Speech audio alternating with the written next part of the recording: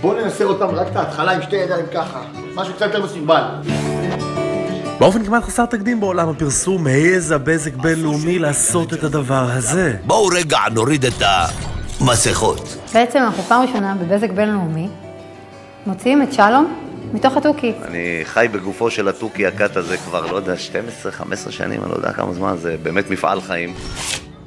היום, הילדים שלנו כל הזמן בוואטסאפ, באינסטוש, בפייסוש. התוכי זז הצידה לטובת מה שנראה כמו אחד הקמפיינים החשובים שתמצאו היום. אבל תכלס, אין לנו מושג מה קורה שם ומה עובר על הילדים שלנו. כי הנושא הוא כאילו מאוד מאוד רציני, ואנחנו רוצים רגע להוריד את המסכות. הוא באמת נוגע בנרב מאוד מאוד רציני וקשה של ההורים. כולנו יודעים מה זה, כולנו יודעים שזה קורה, כולנו גם חווינו את זה, זה שיימינג לילדים. כשהיה עליי חרם בבית הספר, כל השכונה ידעה. אמא שהייתה מגיעה, מתחילה לגשדר, וואי, עלייה, בן שלי! היכולת שלנו כבזק בינלאומי היא לזהות צורך אמיתי.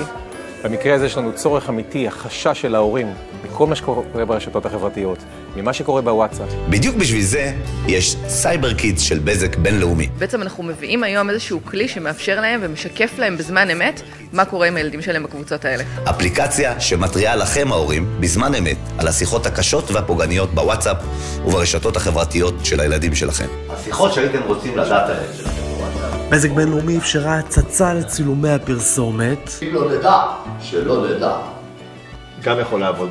גם יכול לעבוד. אני חושב שבעידן הזה חייבים כלים כאלה להורים שיוכלו להתמודד, כי אנחנו באמת, אה, כמה שאנחנו מבינים, אנחנו לא לגמרי מבינים. אנחנו כאן כדי לעזור להם, לתת להם איזשהו כלי שיוכל לאפשר להם להבין מה עובר על הילדים שלהם. ואני בטוח שמוצר הסייבר החדש שמשתלב יחד עם כל מוצרי הסייבר שלנו, יגרום ללקוחות להבין שהגנת סייבר מלאה אפשר לקבל בבזק בינלאומי.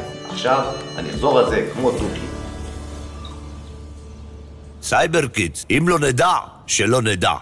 אם לא נדע.